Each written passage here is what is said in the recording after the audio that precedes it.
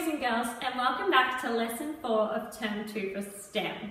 I hope you've all had a great first couple of weeks participating in the activities and learning all about our topic.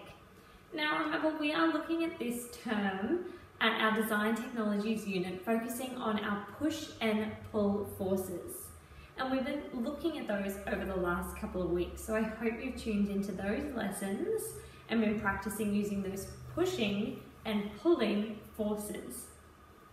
In this week, we're going to have a look at where pushing and pulling forces are used in games. Those games might be the ones we play at home with our family and friends, or they might be more of the professional sporting game kinds of pushing and pulling activities. I'm going to give you a few moments now to have a little bit of a think for yourself about where you have seen some pushing and pulling in different kinds of games in your life. Have a think about it now.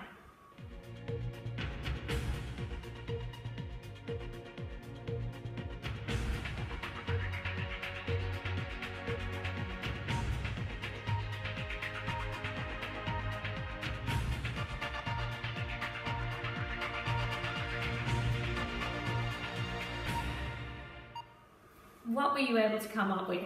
I'm going to show you a couple now as well in case you didn't think of these ones. Let's have a look at the examples right now.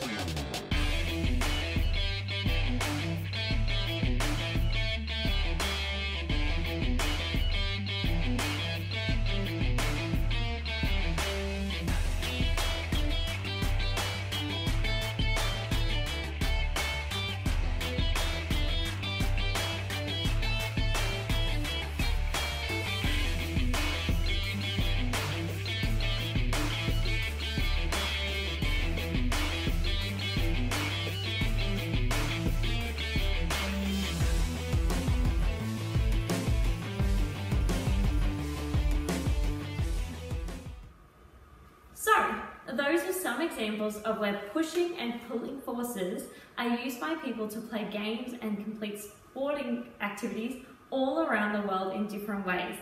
And we're going to use this as inspiration today to come up with our own. So for this lesson, you're going to need a piece of paper and a pencil and perhaps some other resources of your own choosing. And today, you're going to come up with a new game of your own using a pushing, pulling force or you could even use both. It's up to you. On your piece of paper, you're going to be using that to write down the rules for your game and you're going to be writing down any other objects or materials you might need. Your game might involve using a ball of some sort to push or pull, you might need some rope to pull on, or you might even use some cars and other things like that. It's completely up to you.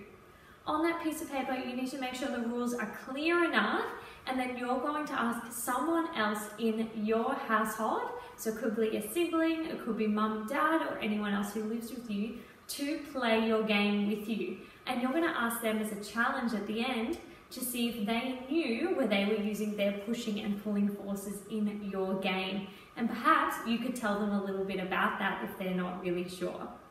So that is your challenge. Once you've completed that, you're going to keep that piece of paper somewhere safe or you're going to either email it to me or upload it to the OneNote if you can. Otherwise, I look forward to seeing it and to hearing about your games when you're back at school in a couple of weeks. Thank you so much for watching, boys and girls. I can't wait to see all the amazing work you've been doing and I can't wait to hear about it when you're back. Thanks, guys. Bye.